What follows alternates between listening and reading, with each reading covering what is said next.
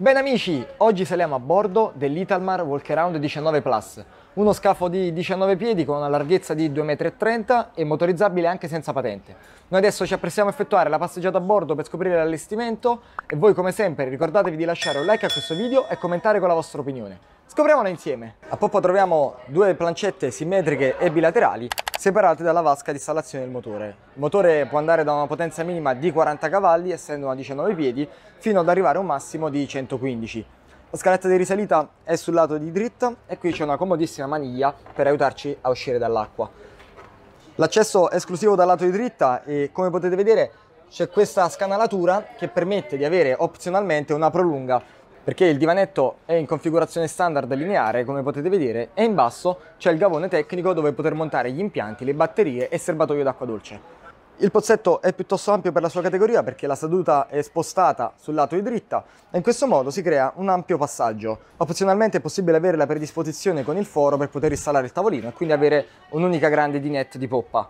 La seduta ha uno schienale molto particolare perché questa forma C che potete vedere grazie a questi fori può essere sollevato e rovesciato. In questo modo si può creare un'ulteriore seduta sulla dinette poppiera che troviamo qui. In questo allestimento è presente anche il cucinino esterno, quindi ribaltando la seduta è possibile avere il fornello a gas e un piccolo lavello e in basso c'è anche un gavone stagno. La plancia è leggermente spostata sul lato di dritta e trova il timone al centro, mentre in questo allestimento è tutto libero come potete vedere perché lascia totale spazio alla personalizzazione dell'armatore. Sul lato di dritta invece c'è la base dove poter installare la manetta.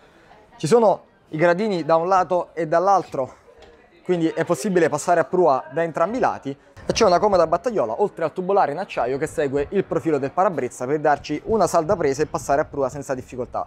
Prua che è davvero immensa, guardate qui, tutta rivestita di cuscini, ovviamente tappezzeria con un tessuto tecnico e imbottitura a cevola chiusa con strato di gomma piuma, c'è il cuscino che può essere rimosso per dare spazio al passo d'uomo, quindi avere luminosità all'interno.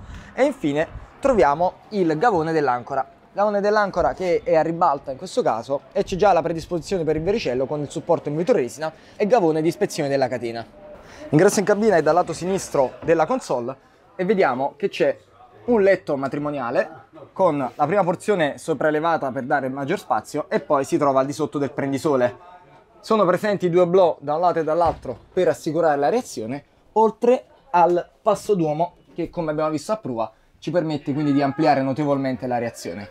C'è un ulteriore box qui presente perché opzionalmente è possibile installare un VC e quindi essere indipendenti dalla banchina grazie alla presenza anche del fornello esterno. Conclude l'allestimento qui in cabina questo mobiletto dove poter stivare gli oggetti, ma opzionalmente è possibile anche installare un frigorifero. E quindi cari amici, questo è l'Italmar Walkaround 19 Plus. Come sempre, se il video vi è piaciuto vi invito a iscrivervi al mio canale YouTube, alla mia pagina Facebook, lasciate un like e taggate le persone che pensate possano essere interessate. E come sempre, per tutti i prossimi video ci vediamo sempre sul mio canale.